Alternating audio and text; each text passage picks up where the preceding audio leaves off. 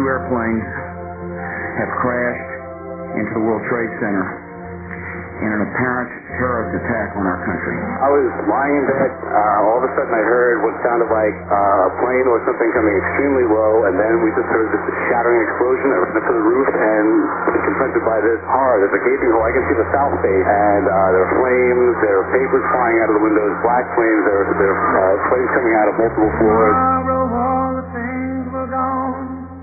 Things are really in chaos. and I had to start again with just my children and my Oh, tons of people were running down Fulton Street. Thank my lucky stars to be living here. The World Trade Center is smoking, Cause the flag still stands for freedom. coming out of all sides. And they can't take that away. It's a symbol, I think, of our strength that uh, we are the United States of America.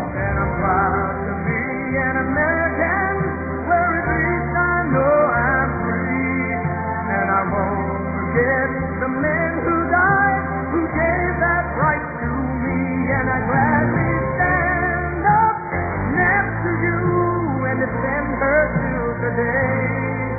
Cause there ain't no doubt I love this land.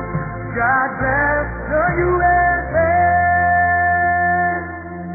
I looked out my windows to see what was going on, and the Second World Trade Center just went into flames, just at, from one minute to the next. I was actually talking to my, talking to my brother on the phone about what happened. I, I was on my roof and I saw something from where I am. I really can't see what it is.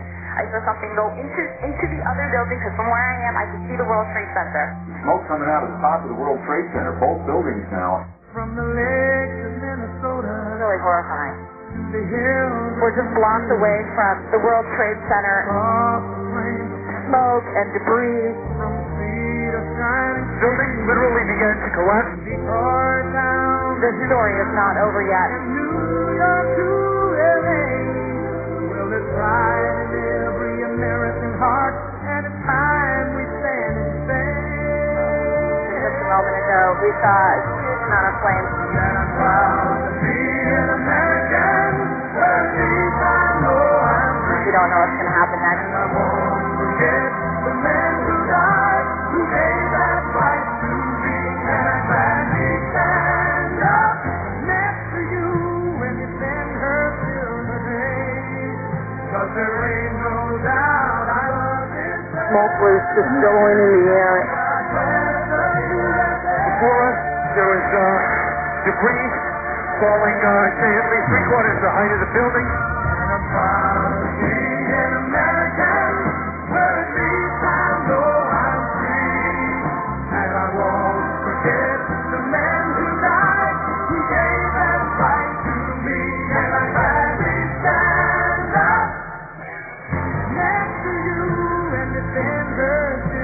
I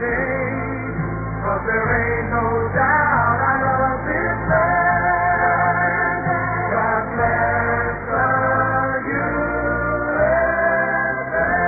Terrorism against our nation will not stand. May God bless the victims, their families, and America.